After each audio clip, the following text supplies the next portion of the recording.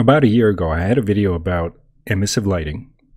It was this video, it was in Unity 2019, and a lot has changed since then. Today, the latest version that I have right now is 2020.2. At the time of this recording, this is the latest version. In this video, I'm going to talk about the same topic, emissive lighting, except we're going to do it in the latest version. The components have changed, but the basic idea remains the same. All we're doing is using emissive material plus bloom, which is post-processing effect. And those two things are all we're going to need. I have a couple of sample scenes here. You can download everything in the links below. I'm going to type T colon C as in type scene. Get all the scenes in this project. I have things like the ninja dancing scene. I also have the basic cube scene. This is the simplest scene I can come up with. As you can see, we have the spotlight, kind of like a stage. And all we have is this lighting source and a bunch of cubes. But the important part here is the volume. As you can see, we have the volume profile. For this example, I'm going to use global volume profile, but you can have local, multiple local volume profiles. But for this video, I'm going to keep things simple. I'm going to have one global volume. The post-processing effect is what gives the red cube the shiny look. And as you can see, I can add lots of different post-processing effects. But for this example, bloom is the one that you want. I can also change the numbers here. And let me show you the difference. If I go to the camera and uncheck post-processing, you can see the difference if I go back and forth. Notice that without post-processing, this doesn't look shiny at all. It just looks like a different color. With post-processing, you can see sort of the light bouncing off the surface. If you want to use post-processing, you have to have this checked under your camera component.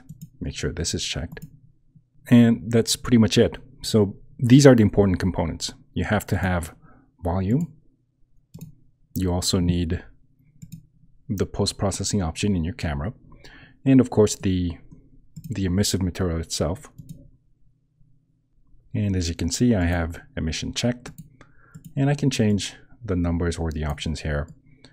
And I recommend playing around with all of the options that I mentioned until you are absolutely comfortable. There's also something called light baking, which is probably another topic for another video, but let me just show you. I have some samples. If I go into baked lighting, you can sort of see the difference if I switch back and forth. With baked lighting, you can get more graphical fidelity as well as probably better optimization. As you can see here, you sort of see the light bounce off and be baked into the surface. It's hard to see, but you can kind of see it here. But I'm going to talk about light baking later. For this video, I'm only going to talk about bloom and emissive material. So here is a slightly more complicated sample. Again, I have all the links below so you can download this. I have the ninja character as well as some more light sources. Okay, I got this from, I got both the character and the animation from Mixamo.com. The biggest difference in this scene is that instead of just having an emissive cube, I have a transparent cube. This is a transparent material as you can see. And inside this transparent material, I have some light sources. And this is a lot more detailed than having a single cube, a single blue cube emanating blue light or a single red cube emanating red light. This is a transparent box and inside the box we have uh, some spotlights and some point lights. And I guess this is how actual light sources work in real life. I think. Don't quote me on that. But this is just probably a little more detailed. And obviously this this scene is not the most accurate version of how light actually works, but hopefully you get the idea. You can certainly get a lot more creative than this. I'm not going to get into the details because you have to look at every project case by case. For now, let me just show you uh, the entire process real quickly. Let me create a completely empty scene so here I'm going to start from scratch. Uh, let me create a cube. Okay, we don't even have a camera yet, but let me create the ground, something like 10 by 10. Let me create another cube.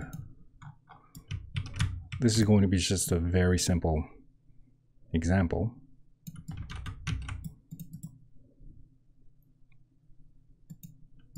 The camera, Control Shift F to sync the scene view with the camera. Let me also add some lighting. Spotlight, again, Control Shift F to sync the rotation to the view.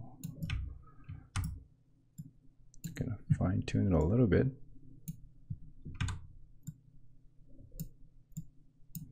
Okay, let me duplicate, create another cube,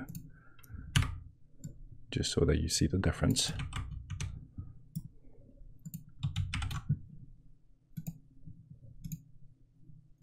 I'm gonna get rid of the skybox. I'm not gonna need it.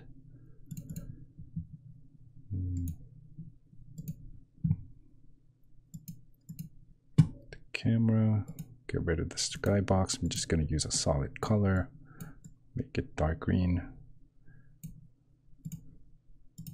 I'm also going to create a material. I'll call it shiny, or I'll call it emissive material. Emission is going to be checked. I'll make it red, shiny red. So that is the red material. For now, we don't have the, uh, the post-processing yet.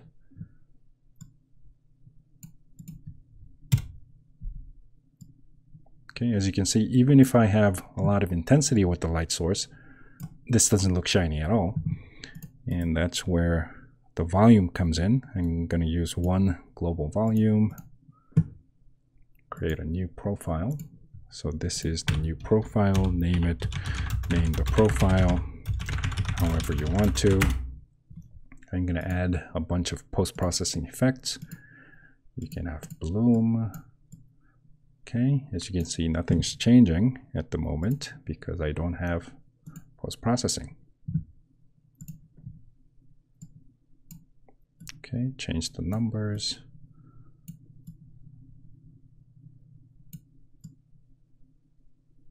Okay, you can also change the numbers for the material. You know, you're going to be spending a lot of time fine-tuning so prepared for that. Maybe that was too little. Okay, and you can also add a lot of other post-processing effects. Not going to get into that in this video, but you know, you can see chromatic aberration on the edges. Let me also change the colors.